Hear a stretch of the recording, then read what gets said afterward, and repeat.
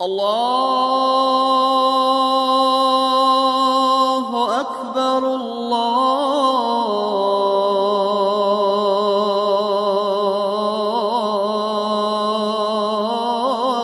الله أكبر. أشهد أن لا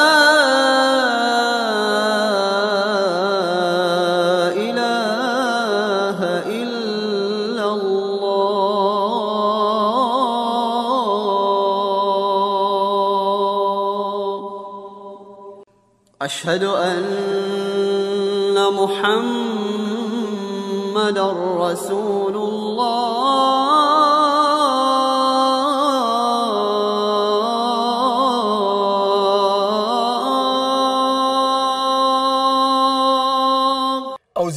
rajim. Bismillahir rahmanir rahim. Wa salatu wa salam ala islam.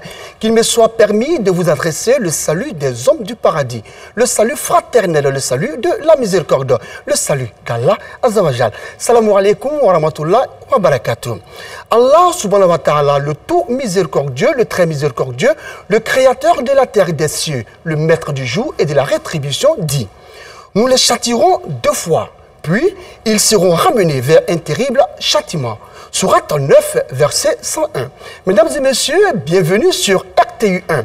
La problématique qui sera développée au cours de cette émission va porter sur le châtiment de la tombe. Pour en parler, deux invités. Il s'agit de l'imam Issa Samassi. Il est imam principal de la mosquée Adja Mawakone, située non loin de la mairie d'Anyama, mais aussi imam à la mosquée Kofa, toujours dans la commune d'Anyama. Avec lui, imam Ousmane Agré, mandat Dominique Madrus. Il est imam de la mosquée de l'hôpital général d'Anyama. Imam Samassi, salam alaikum. Wa alaikum salam wa rahmatullahi wa barakatuh.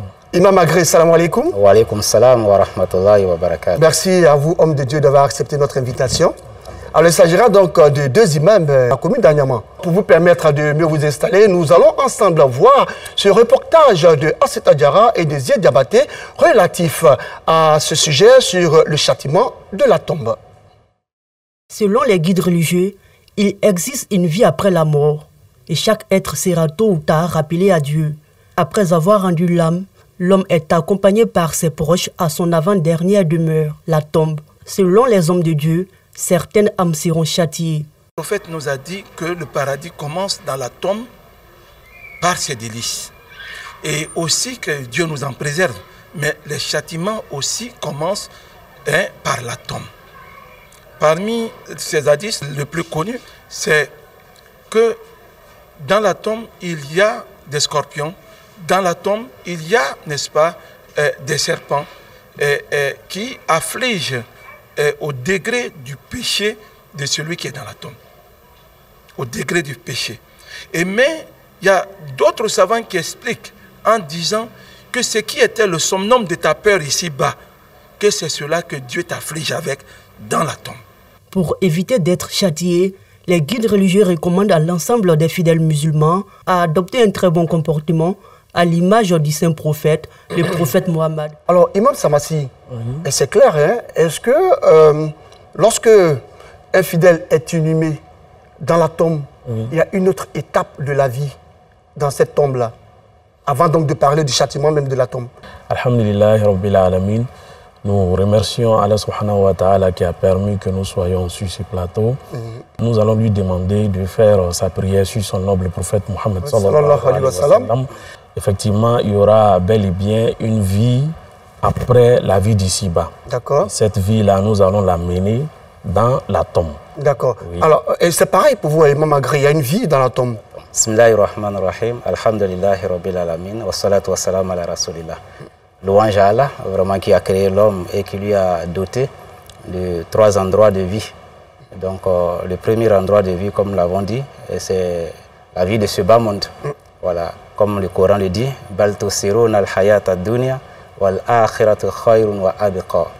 Il dit la vie de ce monde est éphémère, mais celle de l'au-delà qui, qui demeure. Alors que nous savons qu'on ne peut pas aller à l'au-delà sans par avant passer d'abord par la mort, passant par la tombe qui est une étape yani, de l'au-delà, comme Ousmane Bounafan radiallahu ta'ala anhu le dit. La tombe est la dernière étape de ce bas monde, mais la première étape de l'au-delà. Il y a une vie dans la tombe appelée Al-Hayatul Barzakiya, la vie tombale. Quand on est dans la tombe, euh, est-ce que nous sommes châtiés? Si oui, c'est quoi le châtiment? Le châtiment de la tombe, c'est une épreuve qui vient après l'interrogatoire des deux anges, Monkir ou Nakir, qui viennent ces trois questions. Et celui qui aura pu répondre à ces questions, alors sera épargné du châtiment. Et quelles sont ces questions, Imam? Alors la première question, c'est, il demande Man qui est ton Seigneur? Et si c'est quelqu'un qui a vécu dans l'obéissance d'Allah dans ce monde, il pourra dire Rabbi Allah. Il dit, mon Seigneur est Allah. Et la deuxième question, Wama dinuk, quelle est ta religion? Et si c'est quelqu'un qui avait pour religion l'islam, alors il dira Islam din. Et la troisième question, Waman nabiyuka, qui est ton prophète?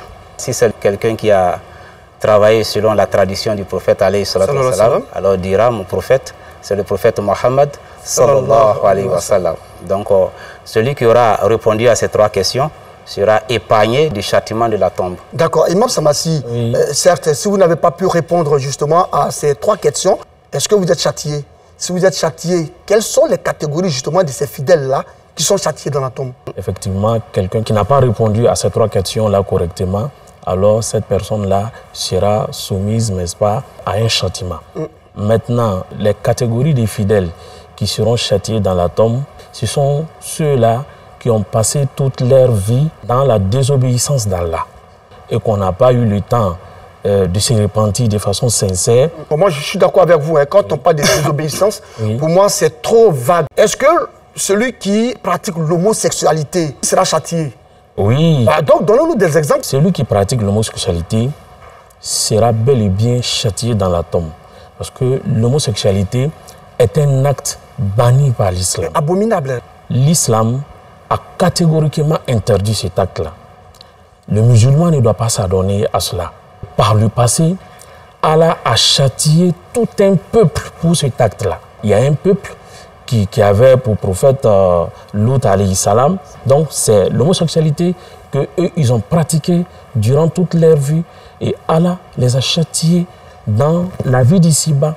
Ça sous-entend que dans leur tombe, il y a des châtiments qui les attendent là-bas. Et là, on ne parle même pas encore de résurrection. Ça veut dire que depuis ce- cette époque-là, Oui, époque. ceux-là sont châtiés jusqu'à Bien aujourd'hui. sûr, bien sûr. Alors, Imam Agré, en plus de l'homosexualité, la pédophilie et autres facteurs euh, qui feront que demain, euh, ces fidèles qui ont désobéi à Allah subhanahu wa ta'ala seront châtiés dans le tombe.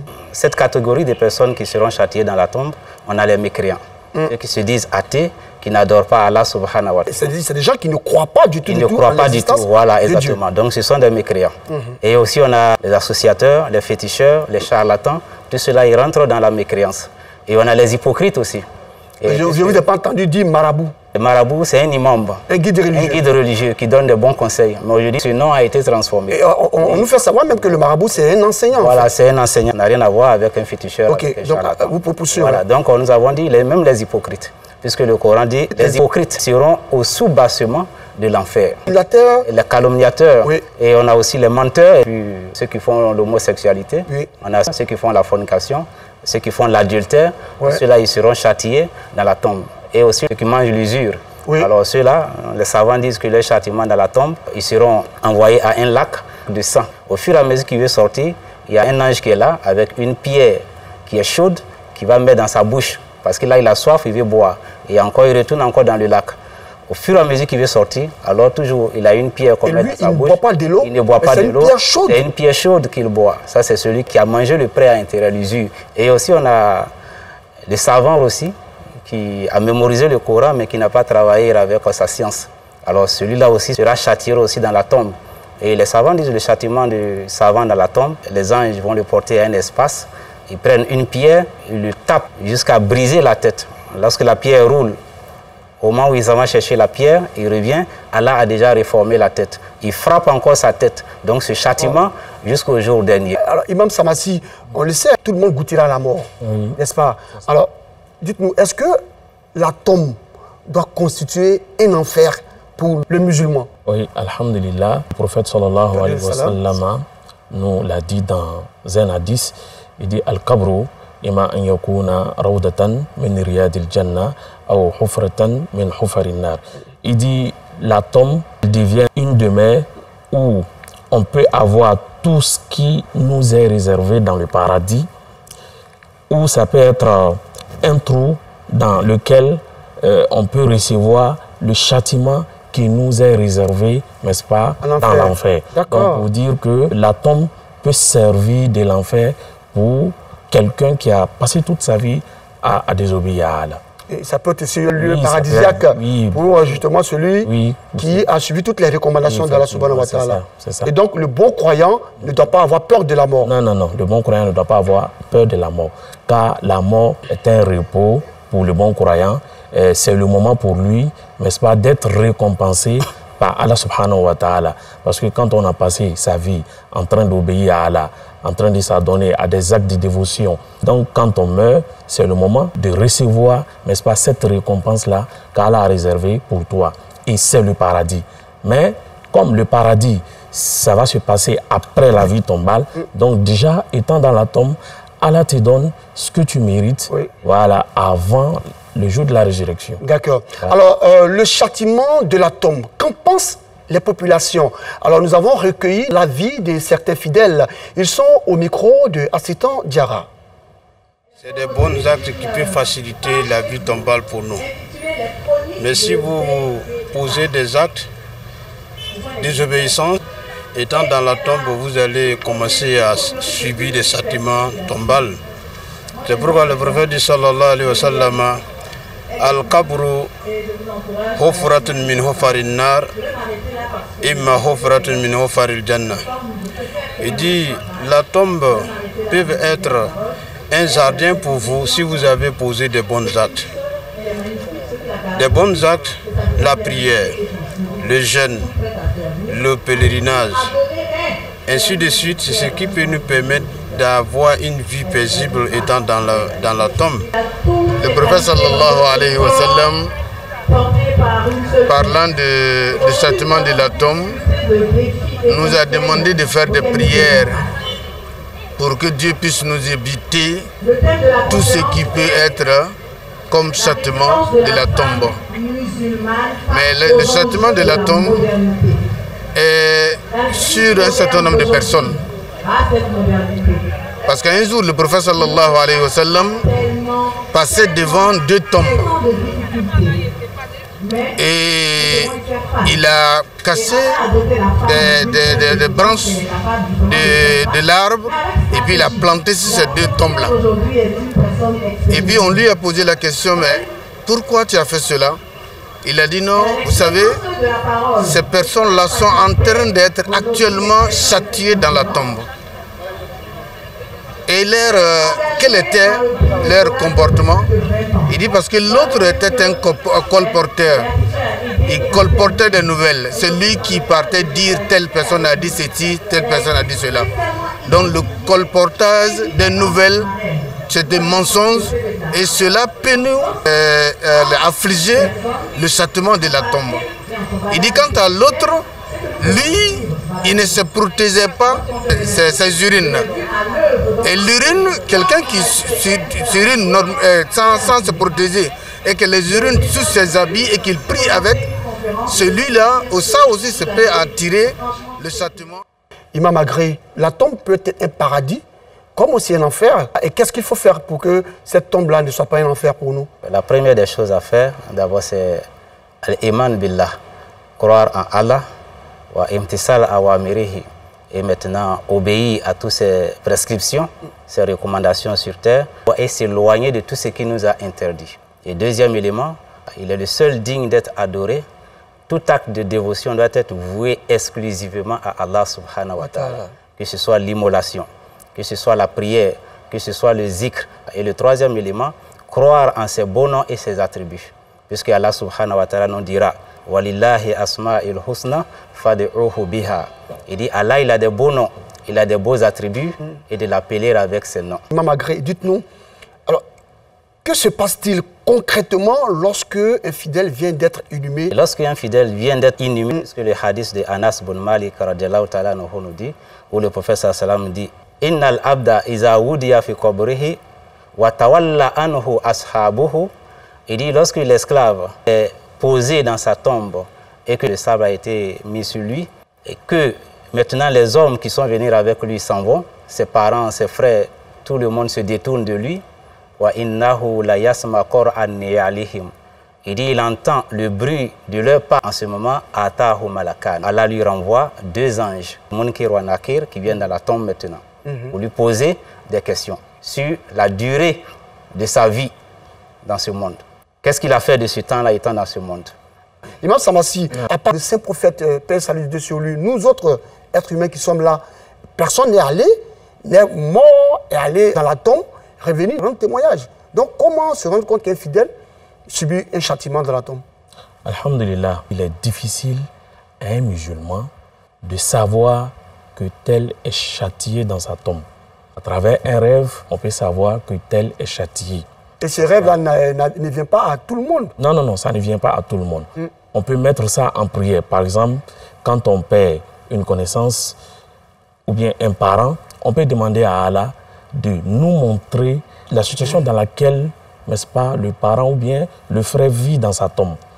Et avec la grâce d'Allah, si Allah décide de vous montrer cette connaissance-là, ce parent-là ou bien ce frère-là, Oui. vous pouvez le voir en rêve.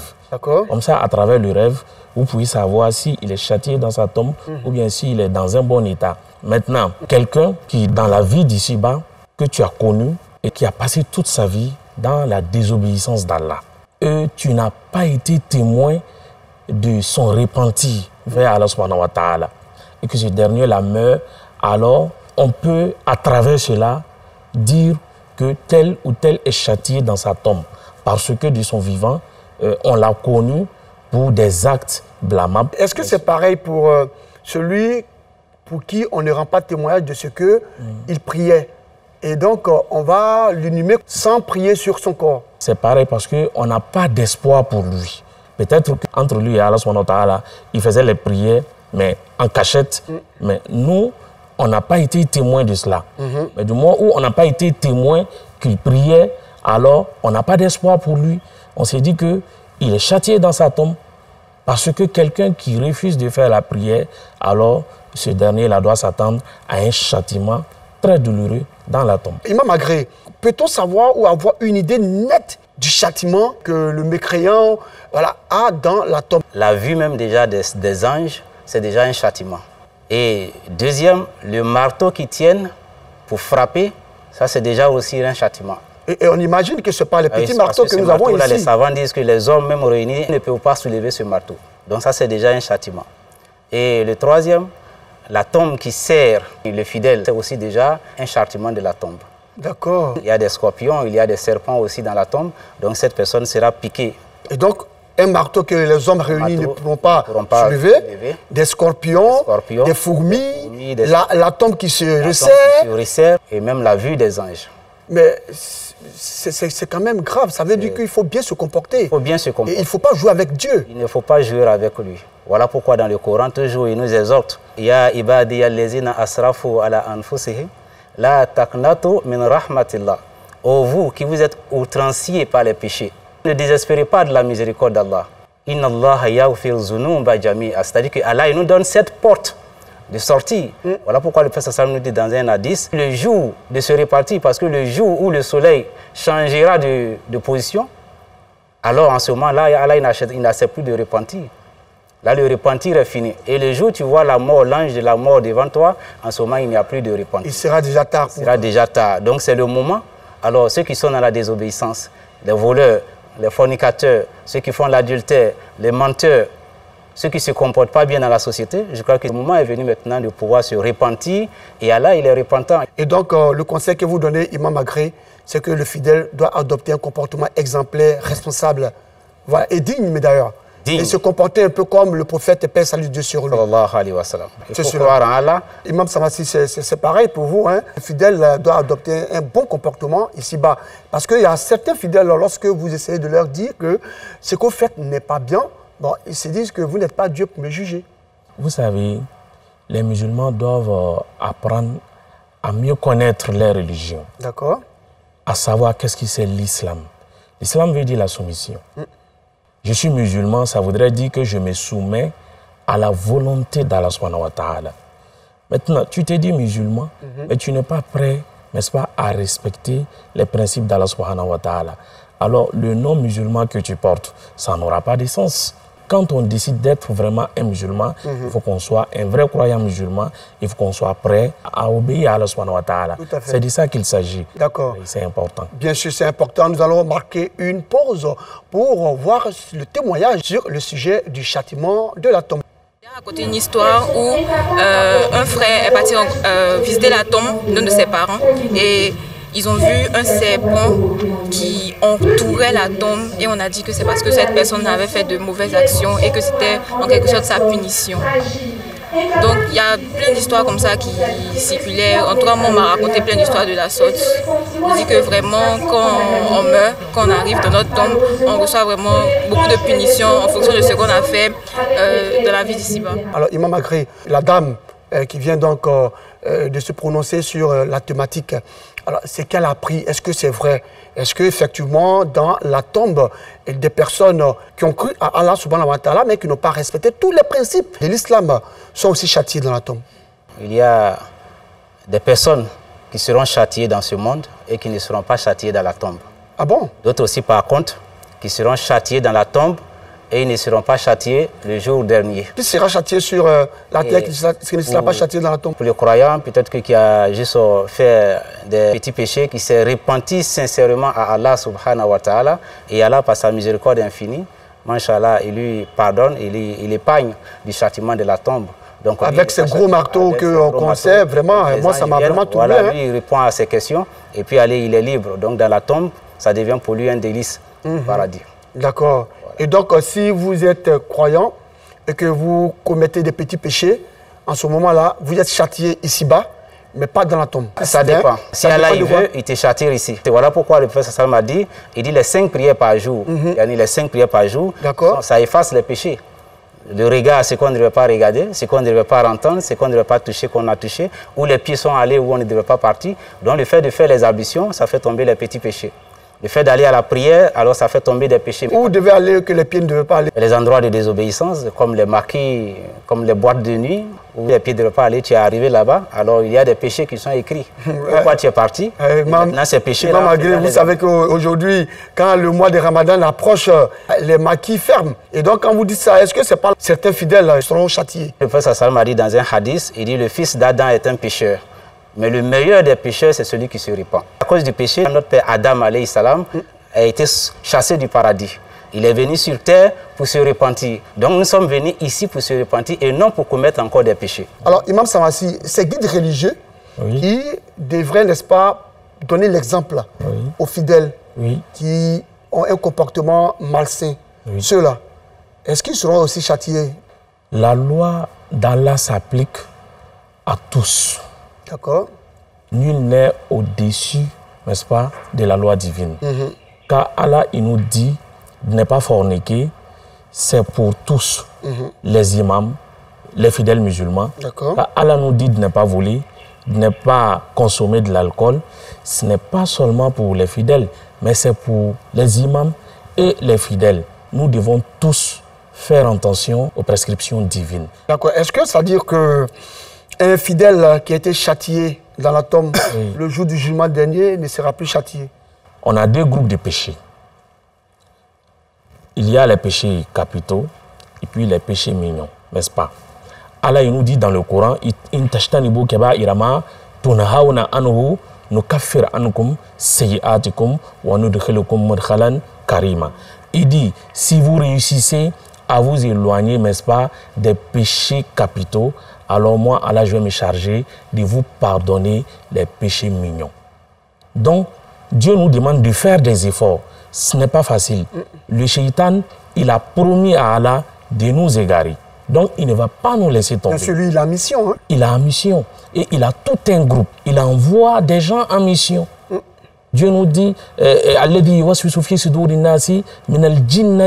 Wan-nasi. Donc, le shaitan, il travaille avec les djinns, il travaille aussi avec les êtres humains. Le shaitan, il est derrière nous. Il veut à tout prix nous égarer.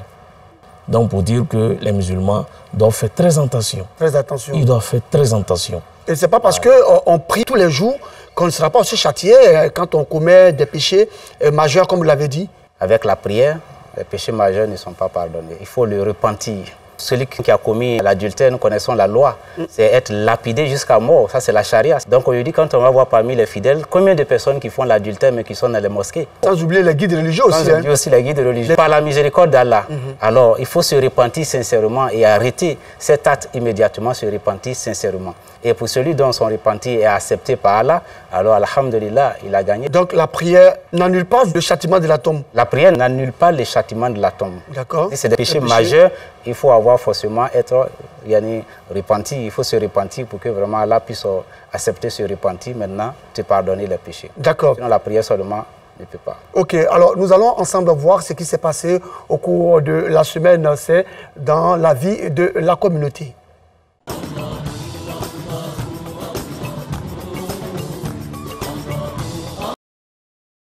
Grande mosquée de Damé, village situé dans la région de l'Indénié Djouablin. Guides religieux, fidèles, autorités administratives et coutumières réunis à l'occasion de l'inauguration de la grande mosquée de Damé. Le représentant de Cheikh Aïma Ousmane Diakité, président du Conseil supérieur des imams, des mosquées et des affaires islamiques en Côte d'Ivoire, COSIM, n'a pas manqué d'exhorter les hommes de Dieu et les fidèles à l'union, à la solidarité et au vivre ensemble. Les propos du guide religieux soutenu par le maire de la commune d'Abengourou. Cet édifice fait face à une église.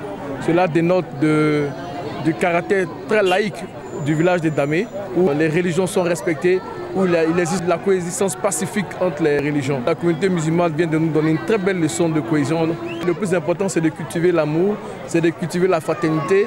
Les fidèles, heureux d'avoir un nouvel édifice religieux, n'ont pas manqué d'exprimer leur joie et leur reconnaissance aux donateurs. Un réel euh, vraiment plaisir d'avoir une très grande mosquée et très belle mosquée. Et j'aimerais profiter de l'occasion dire merci à tous les pionniers et les fondateurs qui ont œuvré à ce qu'aujourd'hui nous ayons cette grande mosquée. Et on dit merci à toute euh, la Ouma, toute la communauté qui s'est déplacée d'Abangourou, d'Aniglekouro, de la Côte d'Ivoire, même hors de la Côte d'Ivoire. Et avoir une nouvelle mosquée aussi montre que l'islam est implanté ici, dans ce village.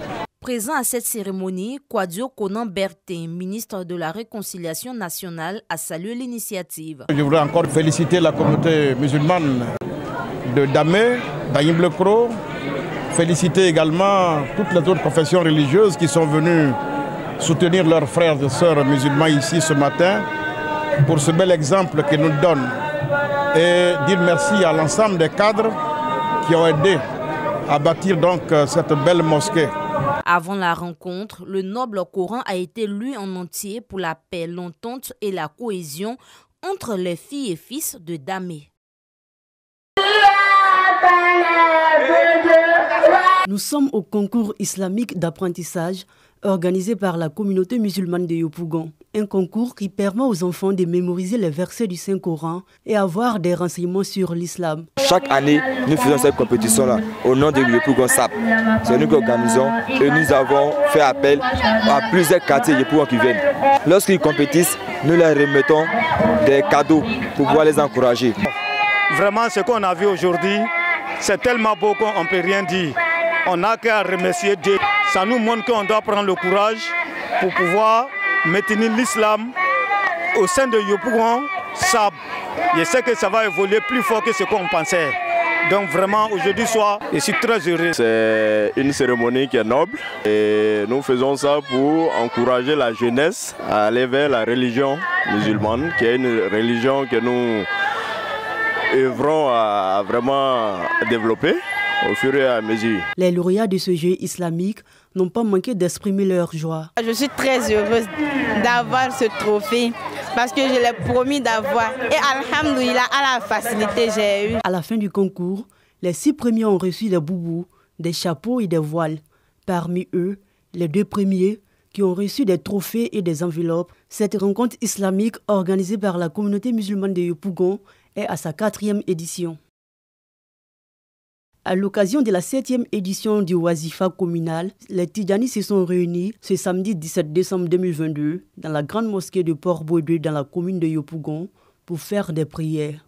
Objectif promouvoir la paix, l'entente et le vivre ensemble au sein de leur communauté. On a demandé aux Tijani de se mettre ensemble pour magnifier Dieu, élever l'étendard de la Tijania. Quand les Tijanis sont unis, ce sont les musulmans qui sont unis. Occasion pour le conférencier d'inviter les fidèles à se donner la main afin de permettre aux autres communautés de suivre leur exemple. Euh, le message qu'on a fait passer, c'est le même message que le calife avait l'habitude de faire passer, l'union des Tidjani. C'est-à-dire tous les responsables de la Tarika Tidjaniya ici en Côte d'Ivoire n'ont qu'à se mettre ensemble pour travailler ensemble, puisqu'on dit l'union fait la force. Le message qui a été diffusé par le calife général de la Tidjania, son éminent Cheikh Mustafa Sonna, c'est ce message très fort de l'union qui vraiment nous avons tous retenu. La rencontre a été marquée par des prières et des bénédictions pour les élections apaisées en 2023. Nous sommes à la cérémonie de commémoration de la naissance du prophète Mohammed, paix et salut de Dieu sur lui, une initiative de la communauté musulmane de Riviera en Pouto. Occasion pour les guides religieux d'exhorter la jeunesse à plus de responsabilités. Toutes les années, là, on nous fait Marou ici. On a encore que la paix, il n'a qu'à augmenter plus de ça aussi, pour qu'on puisse faire euh, notre Marou. Le conseil pour donner les enfants, ils n'ont qu'à suivre la religion et puis ils n'ont qu'à suivre aussi tout ce que les parents les demandent pour pas qu'ils vont se jeter à la drogue avec les conneries. Ces messages des hommes de Dieu, bien perçus par les fidèles musulmans. On est venu faire Mauloud, prier pour notre famille, la paix dans ce pays et que nos activités bougent bien. On a prié aussi pour les enfants aussi pour qu'il y ait une bonne éducation et que Dieu protège la Côte d'Ivoire. L'islam d'abord c'est la paix. Sans la paix on ne peut rien faire. La première prière, nous prions pour la paix d'abord sur le pays, la paix dans le monde. Des prières et bénédictions pour la paix et la stabilité en Afrique ont constitué l'un des temps forts de cette rencontre. Pour la paix, ils sont sortis nombreux. Venus de plusieurs pays de la sous-région et localités du pays, ces partisans du vivre ensemble prennent part à la célébration de la journée nationale de la paix qui se tient dans la ville de Vavois. J'ai été émerveillé de, de vivre cette euh, cérémonie et de voir euh, la prière qui s'est déroulée. C'était vraiment formidable. Cette célébration est une initiative de la communauté musulmane burkinabé de Vavois. Pour le guide de cette communauté, la célébration de la journée nationale de la paix relève d'une importance capitale compte tenu de l'impact de la crise post-électorale de 2010 sur cette ville. C'était une fête symbolique. Nous avons fêté ça en particulier à Vavois avec le grand chef de Vavois, Cheikh Mohamed Serif Traoré. Vraiment que la paix règne en Côte d'Ivoire, que la paix règne sur la sous-région de l'Afrique de, de l'Ouest. Un avis partagé par plusieurs. La paix, l'amour, l'entente, la bonne cohésion, c'est très bon, c'est très important. S'il y a la paix, il y a la joie. S'il n'y a pas la paix, il n'y a, pas, a rien de bon. C'est la paix qui est tout. La célébration de la journée nationale de la paix à Vavois a pris fin par des prières et bénédictions pour la paix en Côte d'Ivoire et dans les autres pays de la sous-région.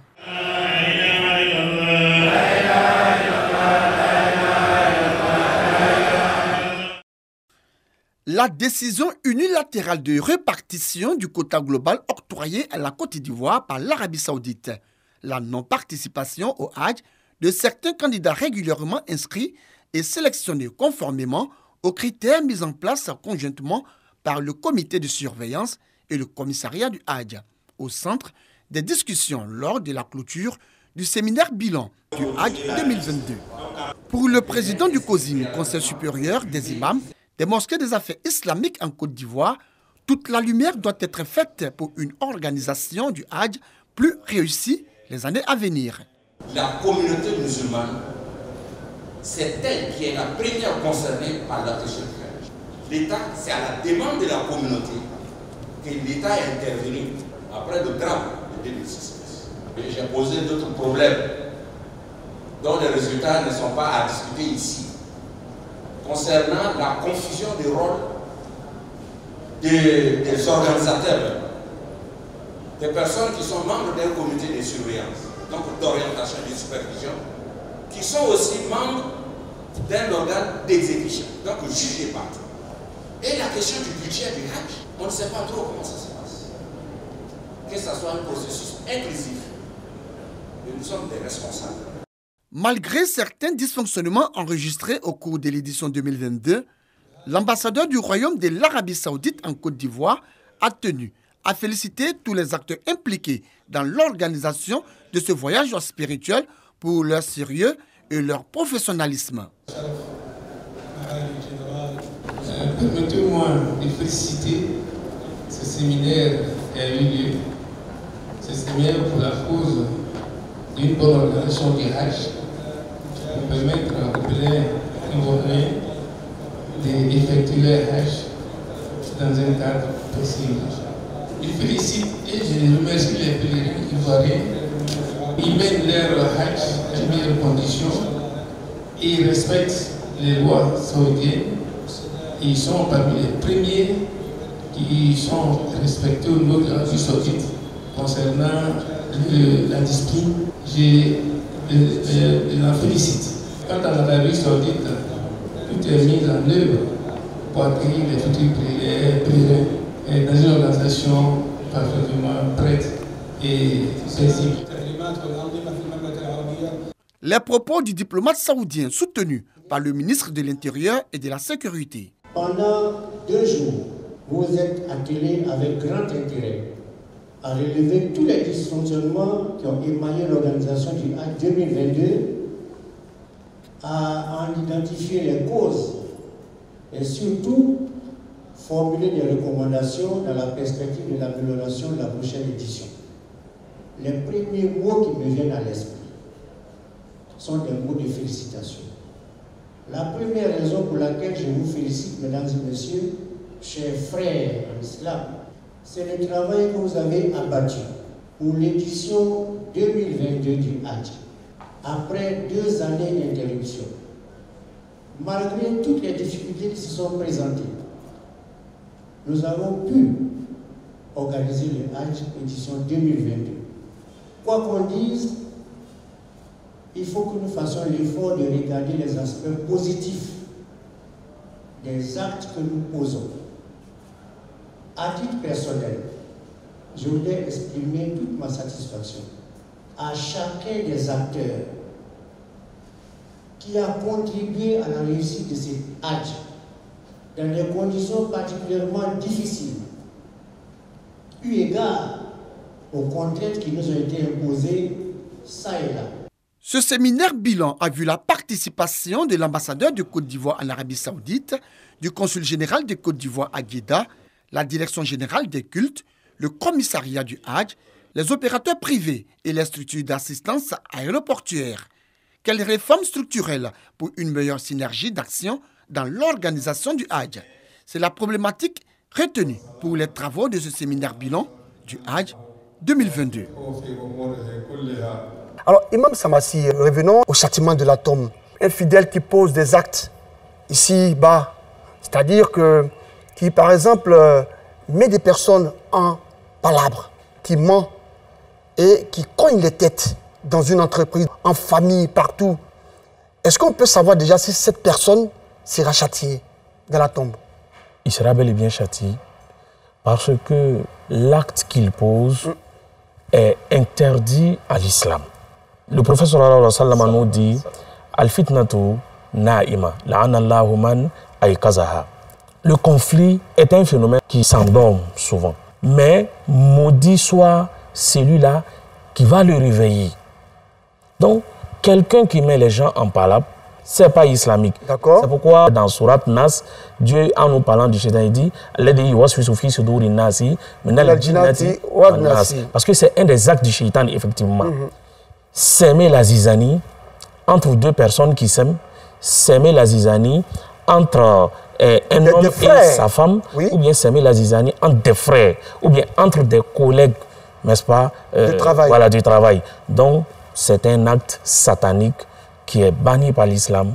Celui qui le fait, il doit s'attendre à un châtiment très douloureux dans la tombe. effectivement, vous convenez avec euh, ce que vient de dire euh, l'imam Samassi, euh, imam Agré Je suis, je suis d'accord avec l'imam Samassi. Si cette personne ne se répand pas sincèrement et qu'il meurt dans cela, alors il est châtié dans la tombe.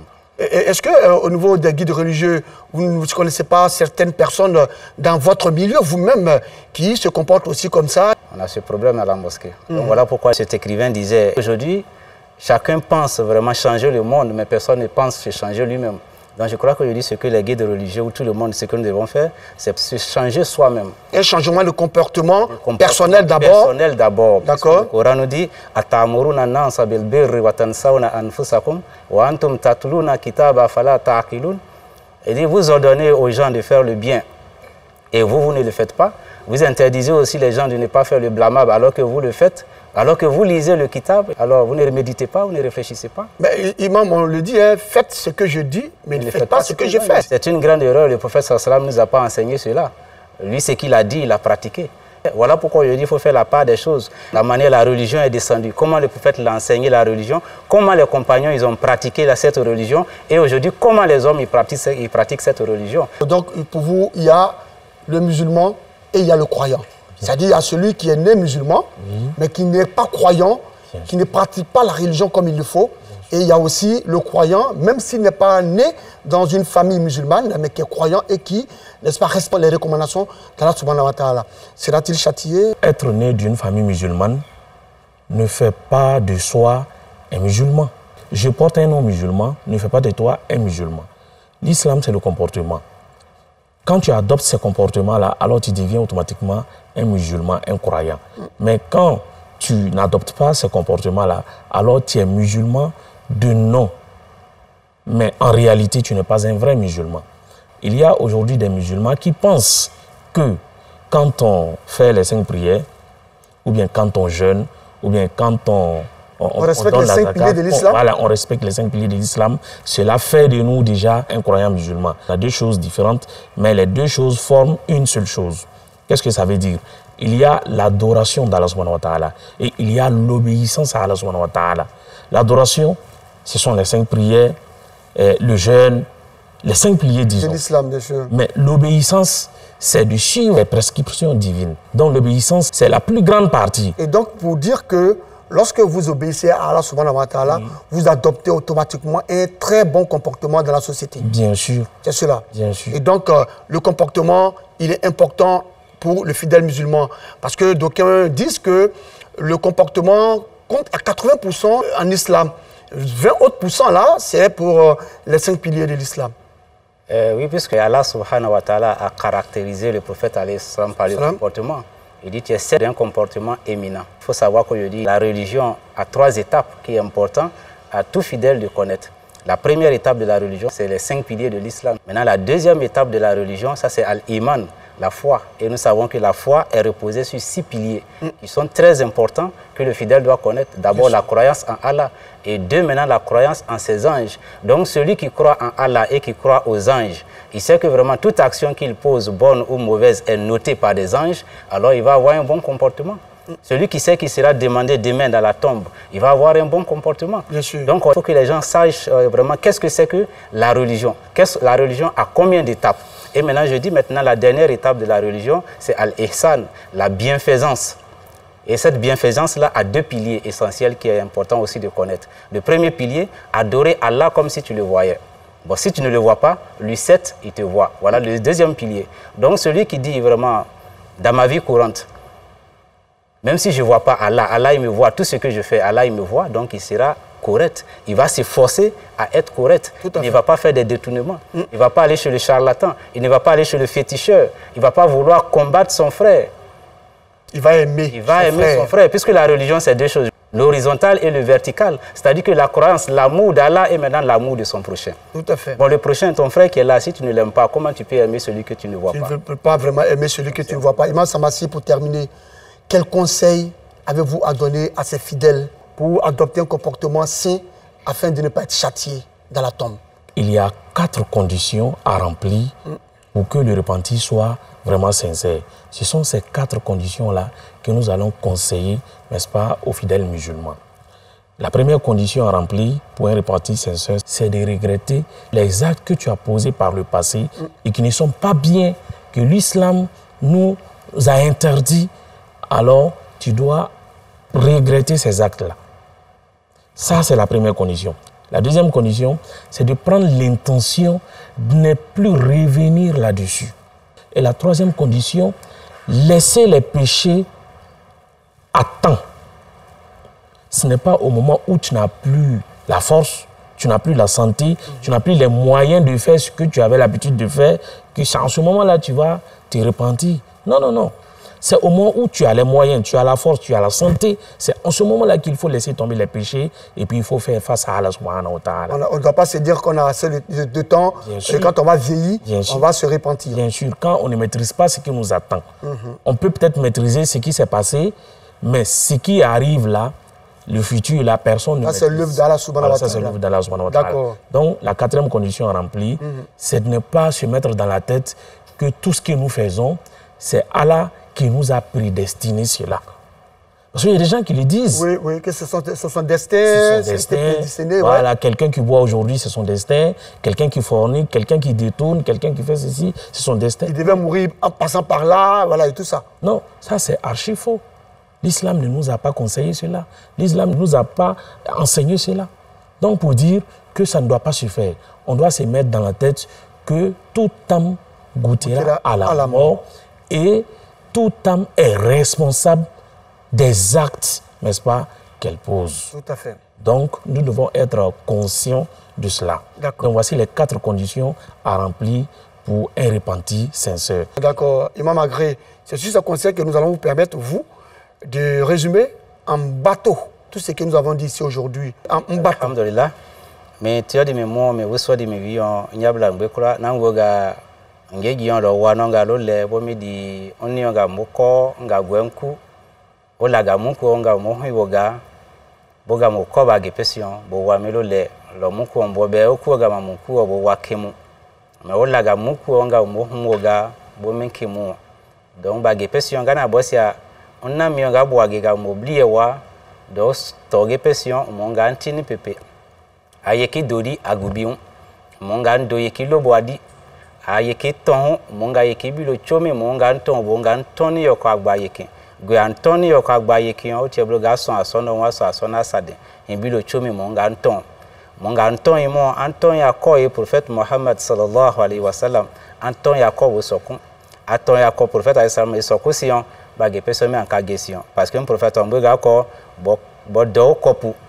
Gue ga numo e dõ hũ õ himi di prophète mohamad sallallahu alayhi wasallam.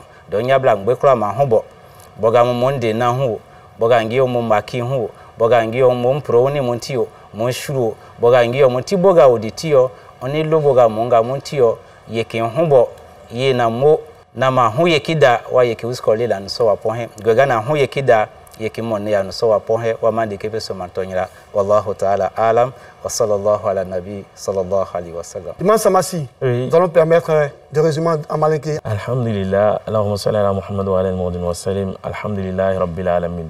Ayiwa an baden alisilamaw an y'a bi émission borila min kan o le le k'a fɔ est ce que ni silama dola kaburu kɔnɔ yala a bɛ jangata sɔrɔ kaburu kɔnɔ wa?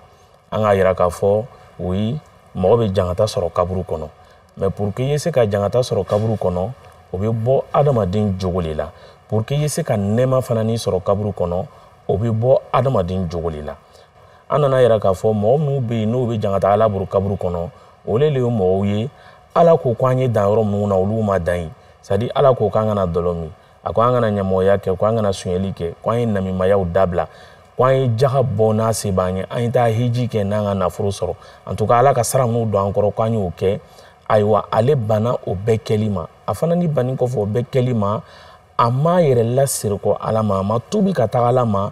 A tolo la fo saya mɛlɛkɛ nana lɔ ale a bonda la k'a fɔ ko salamalekum ala do k'a ma kuranna kɔnɔ an fi ko min marazaknakum min kabli an yatiya ahadakum almaut fayaqula rabbi laula akhartani ila ajalin karib fa wa akun mina salihin. Donc ko a ye ɲali kɛ. A y'a yɛrɛ sirikɔ ka taga ala ma a ye tubi ka taga ala ma ka kɔn olu ɲɛ don mina mɛlɛkɛ bɛna na lɔ a y'a da la n'o ye nimina mɛlɛkɛ ye k'a bɛna ni minɛ a ko olu na adamaden dɔw nimisa kan bɛ bɔ olu dɔ b'a fɔ ko ala m'a darila i fɛ ye lɛri kelen di walima ye tere kelen di walima ye tani fitinin di yan. N bɛ n ile ala ma n ma se ka baara ɲuman fɛn kɛ m'o kɛ n ka baara jugu fɛn kɛ n tubi ka bɔ olu la. Mɛ ala ko ni saya mɛlɛkɛ kɔni dɔ la ile min y'a bonda la ka ban. K'a sɔrɔ ile ma tubi ka taga ala ma y'a tubi tɛ foyi ɲa i ma tuguni jangata le wajibiliyala ile kan sisan donc an k'a yira k'a fɔ an ye ala bato. An ye ala bato mɛ ala bato kɔnɔ an y'an jija an ye ala fana labato. Ala labato tɛ dɔwɛrɛ ye. Ala ka jogo minnu d'an ma k'an y'o baara an y'olu baara n'an y'o jogo ninnu kɛ ni seri ni su ni jaga ni heji tagala fara o kan a bɛ kɛ ko dafani ye a bɛ sara sɔrɔ. Mɛ n'an k'an dɛn seri ni su ni jaga ni heji dɔrɔn na ka jogo ɲumanya ye ka to yen an ya seri ni sun ni jaga tɛ foyi foyi ɲa an ma. Parce que seri sun jaga heji n'o ye silamɛya lɔsɛn loru ninnu ye olu bɛɛ dilan ma le ko an jogo ye se ka ɲa. Donc n'an jogo ma se ka ɲa que olu fana ni kɛli ma nafa foyi ɲa an ma. Donc silamɛw waati dɔ sela an y'an yɛrɛ bɔ toro bon kɔnɔ an y'an yɛrɛ bɔ yɛrɛla nɛgɛ bon kɔnɔ ma an y'an yɛrɛ lasiri ka taa ala ma. An fana kana fɔ ko ala le ka o latigɛ an ye parce que dɔw b'a fɔ ko a bilala an bɔgɔ la le ka ala sɔsɔ kɛ k'a fɔ ko ala le k'o bili bɔgɔ la ala ma ala sɔsɔ bila mɔgɔ bɔgɔ la. A ma tiɲɛni bila mɔgɔ bɔgɔ la maa ko a ma le ko an y'an teli n'a y'a sɔrɔ k'olu le ye tiɲɛ ye nabi ɲuman ni kira sebaw ci kun tu tɛ. Mɛ n'a ko olu ci o kɔrɔ ye ko kana kuma an fɛ parce que a t'a fɛ tɔɔrɔya y'an sɔrɔ k'an lasɔmi. N'an banna olu le ma n'an sala k'an to ka dalu tɛna sɔrɔ an bolo kiyama ayiwa jangata bɛ wajibi y'an ka kaburu kɔnɔ ala y'an kisi ka bɔ jangata ma ala y'an kɛ alijinɛ kɔnɔ Amina. Alors, vous l'avez compris, c'est la fin de cette émission. Rappelons que nous étions avec euh, Imam Issa Samassi. Il est imam principal de la mosquée Adja Mawakone, située dans l'un de la mairie d'Anyama, mais aussi imam à la mosquée Kofa d'Anyama. Avec lui, Imam Ousmane Agré, mandat Dominique Madrus. Il est imam de la mosquée de l'hôpital général d'Anyama. Avec eux, nous avons parlé du châtiment de la tombe. Merci à vous de nous avoir suivis. Je vous donne rendez-vous jeudi prochain, même heure, même chaîne. Rappelons que vous pouvez suivre la rediffusion de l'émission Allah Wakuba tous les vendredis à partir de 9h. Salam alaikum wa rahmatullah wa barakatuh.